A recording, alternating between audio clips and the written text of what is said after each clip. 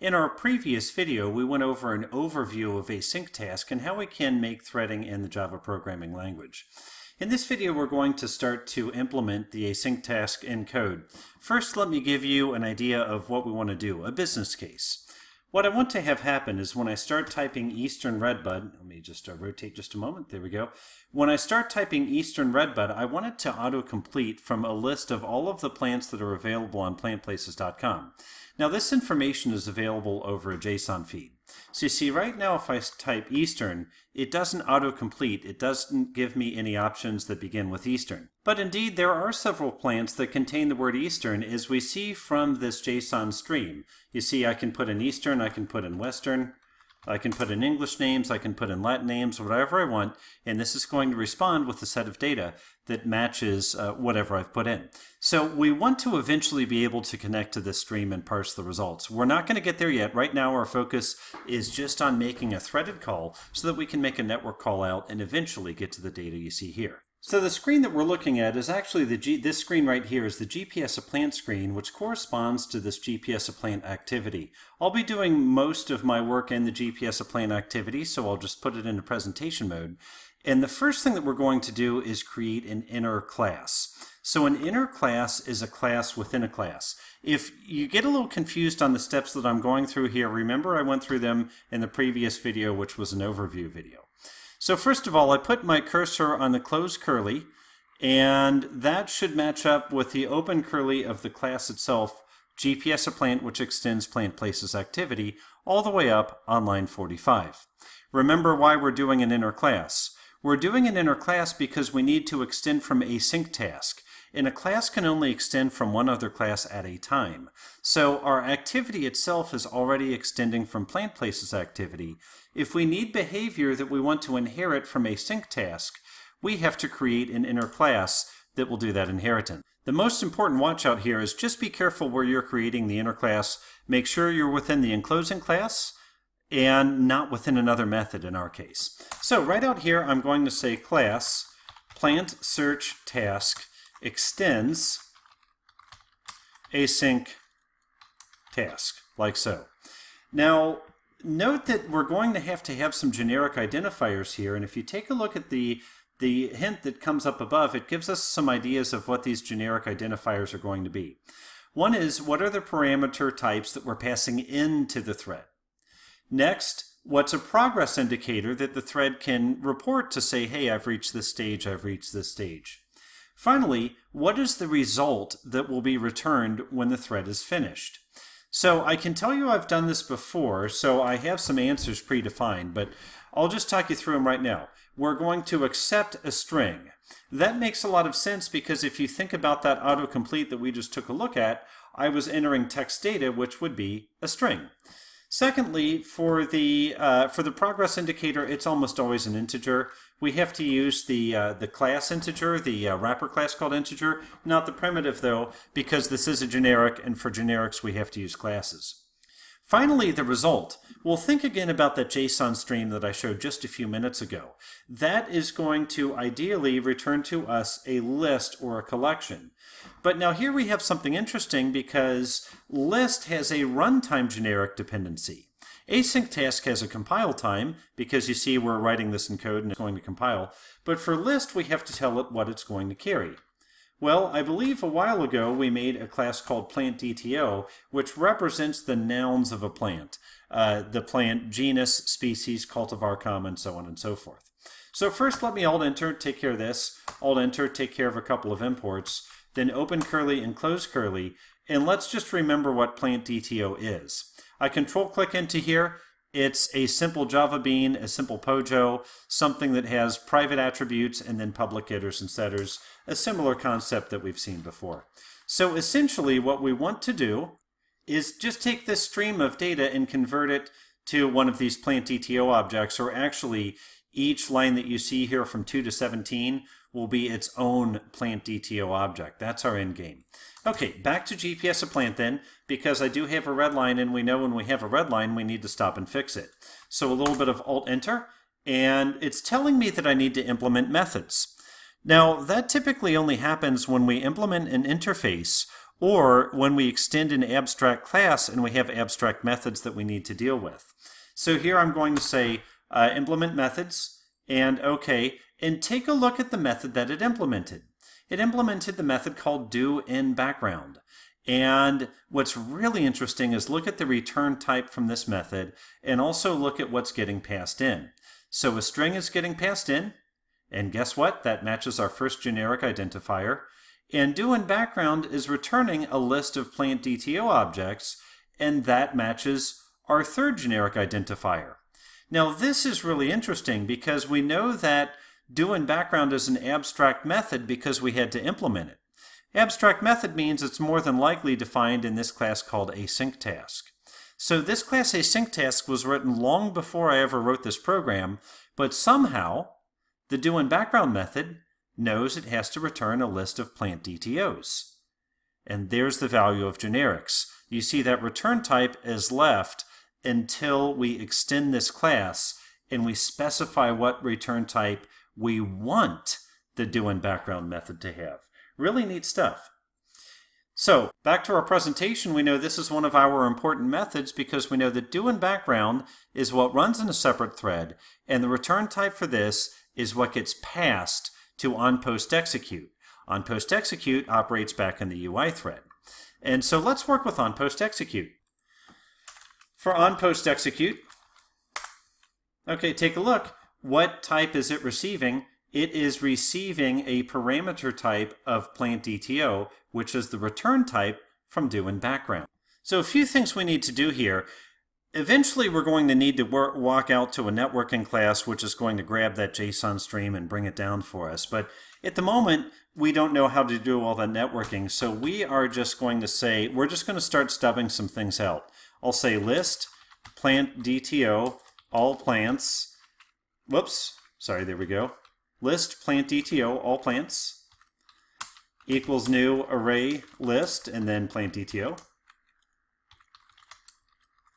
Okay, open and close paren and terminate with the semicolon and import anything that we need. Okay, now we are going to declare and uh, declare a variable for our DAO class that will do a lot of the networking for us, something like that. So remember something important here, uh, and that is iPlant DAO. If I take a look at iPlant DAO, we know this is an interface and if I uh, control click here, we can see that it is used by, or it is implemented by a class called plant DAO stub. Now, this is an important concept because we know that an interface can be realized or implemented by multiple classes. And if we make our variable type the interface type, the object type can be any class which implements that interface. This gives us a lot of flexibility, and this is an excellent case study of that, because in this case, we don't know how to do networking yet. We're going to figure that out, but we don't know yet. So we can plug in the stub that we already have, and as long as the variable is this interface type, then we can keep working on the actual implementation in this DAO here. And when this actual DAO is ready and it's talking to the network, then we can make the object type plant DAO and remove plant DAO stub as an object type. So it gives us a lot of flexibility to anticipate the future. So uh, plant DAO stub implements iPlantDAO, so we do have that relationship relationship set up correctly. Let's go back to uh, GPS a plant, and what we'll do here is we'll say iPlant DAO plant DAO equals new plant DAO stub, just like so. And this is the part, do a little bit of magic entering here. This is the part where when we finish the actual implementation, we make one change there, boom, and we go from stub to implementation. It has a very minimal effect on our program. So from plant DAO, now what we can say is plant DAO, and then we can invoke the search method, and we need to pass in a string. Where are we going to get our search term string? Well, it's going to come from up here. It's going to come from the parameter that's getting passed into this method. Note one little funny thing here, and that is it's not just a string, it's a string with an ellipsis. The reason why that's funny, let me do a little pseudocode here. I could invoke this as do in background. I'm going to take this away. I just want to kind of pseudocode it out. Do in background. and I could pass in one string, or let's just say foo, and that would work. I could pass in two strings, foo and bar, that would work. Three strings, foo, bar, and baz, that would work as well. What's going to happen in the background is it's going to take all of these strings, make an array out of it, and pass it in where you see it here. So uh, that's a notation that just means that the Java virtual machine is going to make an array out of potentially multiple strings that could be passed in. So we have to make a little difference here. We'll, we'll call this one search term or search terms plural. And then what we'll do is we'll say string search term equals search terms 0. Now we really ought to check and make sure that this is not empty first because we're assuming that there is a first element that we can pull off, but nonetheless, search term 0. Then plant DAO search, and we'll say search term. Okay, now what does plant DAO.search return? Well, let's do a Control Alt V and find out. Ah, look at that. It returns a list of plant DAO objects. So what I can do is I can say all plants equals plantdao.search, search term, and then finally return all plants. So we'll take a quick peek here at plantdao stub and let's remember what it's doing for its search term. Um, it's just doing a little contains algorithm here it looks like and it's a stub so it's not a real implementation. Uh, it's just kind of a mock-up. So it has a white oak, an English oak, and an eastern redbud. Those are the three mocks that we have. Let's return to GPS a plant and finish a couple of things up. First of all, we want to uh, call this do in background method, but where are we going to call it? Well, keep in mind our use case. We want to autocomplete as the user is typing up here in this screen as I'm typing Eastern. So this is something that should be done when the activity is created. So let's go up to the onCreate method of this activity. And just a moment here on create. And now let's start looking for plants to populate autocomplete. One note. It's widely accepted that if we're doing autocomplete, we should populate it from a local source of data. We should not reach over the internet to find the data just because of the lag time involved. So we, I, I, am doing this as a demonstration, but in reality, if you are doing an autocomplete, think about having the data locally. Okay, so start looking for plants to autocomplete. So we're going to say, what was the name of our inner class? Plant search task. And plant search task equals new plant search task. So just like we're declaring any other object. Now we're going to say plant search task. And remember, we don't want to invoke do in background directly. That's not going to work for us. I could put like so. And theoretically it would work, but the problem is it won't happen in a separate thread. For do background to actually invoke in a separate thread, we need to invoke the execute method on do background. And then I'll just pass in something like the letter E, something that white oak, redbud, eastern redbud, each of those plants have. We can, we can tweak this a little bit later. We just want to prove out the concept of having multiple threads. So at this point, snap a breakpoint here. We know that that is going to create an object of our inner class, which is this plant search task.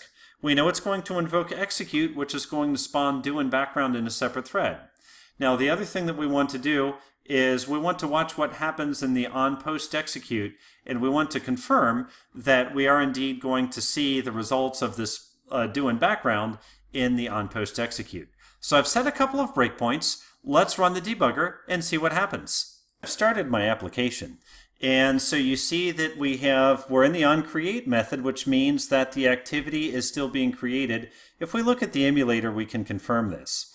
Now, first thing, it's going to uh, create a new object of the plant search task. So I'm going to just do a step over, and then it's going to execute the plant search task. Now, careful here, look at something interesting. Uh, first of all, we can take a look and we can see the main thread, we can see some other threads. Uh, you'll likely see a new thread come up in just a moment. Uh, similarly, if we look at frames, we can see a few thread indications right here as well. The other thing I'm going to point out is when I press F8, the debug breakpoint here will likely go to the close curly, but we're going to see another debug breakpoint uh, pick up, and that is the debug breakpoint that we have in do in background. So let's watch. I press F8 and sure enough you see that breakpoint goes down. It's still active, it's still blue. Uh, but now let's take a look at our threads. Oh, look at this one. Do you see there's a new thread called async task? That wasn't there before. I click on this and take a look. Now it shows me a separate breakpoint. So that's one of the cool things about debugging is we can debug through multiple threads simultaneously and we have the ability to flip back and forth just by clicking on this dropdown. Remember the thread called main is the thread that we're almost always debugging in unless we pick another thread. This is the UI thread. This is the thread that has the activity. Async task is the thread that we have just created. So this is running as a separate process. So I choose F8, we do some initialization. I choose F8 again to get our plant DAO stub. I take our search term, notice it's the letter E, the letter that we passed in from the onCreate method, and now I go to perform my search. So I press F7 to step into the search and watch the tabs across the top. Remember the variable type is iPlantDAO, but the object type is PlantDAO stub. If you don't fully comprehend polymorphism, uh, this will be a good time to kind of get your arms wrapped around it. If you do fully comprehend polymorphism, this will probably make a bit of sense.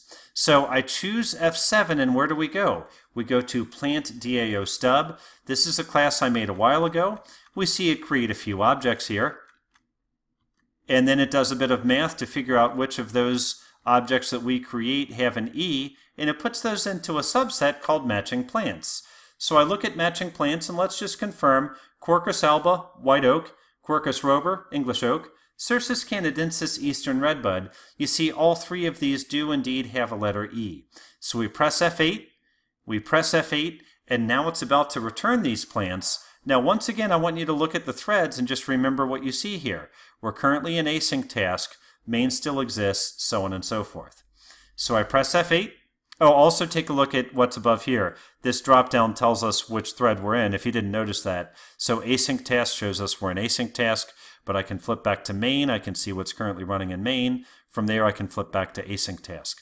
I want to point that out because we're going to see that it would be interesting in just a moment. But at this time, I'm all done with the async task. So when I confirm that I see async task in the thread, I'm going to choose F9, which just says continue. And where do we go back? This is where it gets really interesting. Note that another breakpoint hits, but this time the dropdown has changed and the breakpoint it's showing us is in the main method. Or sorry, the main thread, not the main method. So I'll go ahead and choose F9 on this, and now what breakpoint picks up? Okay, the breakpoint picks up in the on post execute method, but once again, notice what thread that's in. It's in the main thread, not in the async task thread. Even though these two methods on post execute and do in background are in the same class, they actually operate in different threads. Do in background is where we're doing the heavy lifting, and on post execute uh, is in the main thread or the UI thread. The advantage being it has access to any user interface uh, variables that were declared in our activity. That's going to be important because we're going to take this data and we're going to use it to update our autocomplete. Just for the moment though, let me just confirm if I mouse over plant DTOs, sure enough we see it has a size of 3, and sure enough it has three familiar plants, doesn't it? The white oak, the English oak, and the eastern redbud. So I'll go ahead and choose F9 from there. As soon as I choose F9, my screen, my screen comes back it doesn't yet have the autocomplete working, but not to worry. We'll take care of that in the next video. I look forward to seeing you then. Thank you.